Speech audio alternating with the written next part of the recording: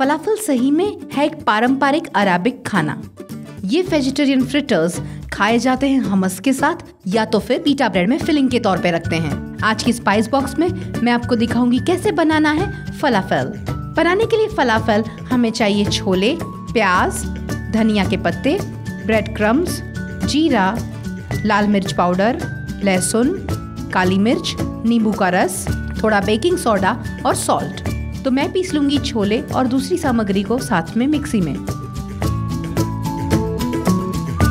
आप भिगो सकते हैं छोले को पूरी रात या तो फिर आप कैंड छोले भी इस्तेमाल कर सकते हैं।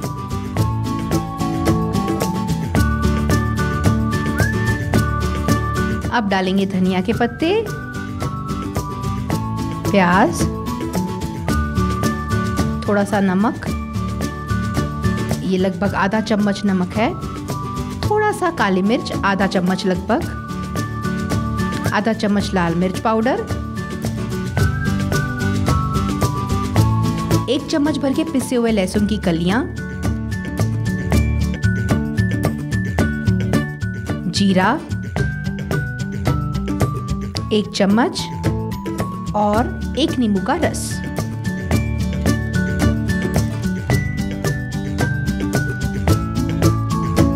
तो छोले और बाकी की सामग्री अब पिस चुकी है। हम इसको जार में से निकाल करके एक बोल में रख लेंगे। मेरे पास यहाँ पे पिसा हुआ मिश्रण तैयार है। अब हम इसमें डालना शुरू करेंगे। ब्रेड क्रम्स और बेकिंग सोडा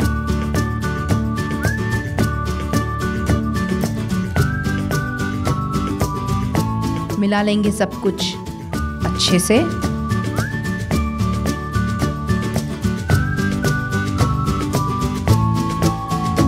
अब हम इसमें से बनाएँगे छोटे बॉल्स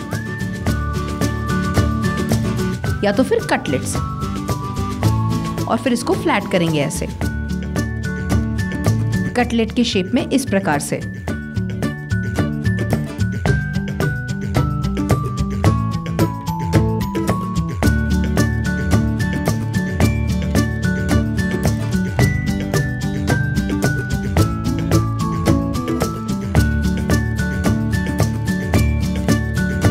एक बार आप इसको कटलेट के आकार में बना ले। ऐसे हम इनको तेल में रखेंगे तलने के लिए। अगर ये चिकना हो जाता है तो आप इसमें डाल सकते हैं ब्रेड क्रम्स थोड़े से।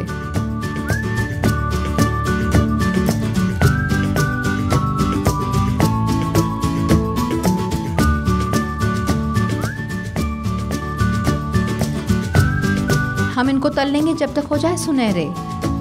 इनको पलट के दोनों तरफ़ पका लेंगे अच्छी तरीके से।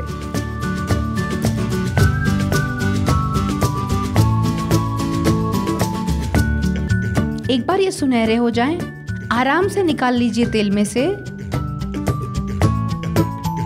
रखेंगे इसको पेपर टावल पे ताकि एक्स्ट्रा ऑयल सोख ले। तो अब ये फैलाफल फ्रिटर्स लगभग हो गए हैं। सिर्फ़ इनको निकालना है फ्राइंग पैन में से। निकाल देंगे ज़्यादा तेल पेपर पर। जब फलाफल बनता है पारंपरिक रीत से तो ये है एक वेगन खाना। अच्छा स्रोत प्रोटीन का। ज़्यादा करके जब आप मांस नहीं खा रहे हैं, तब। तो अगर आप हैं नो मीट डाइट पे तो आपको आज ही इसे ज़रूर बनाना चाहिए।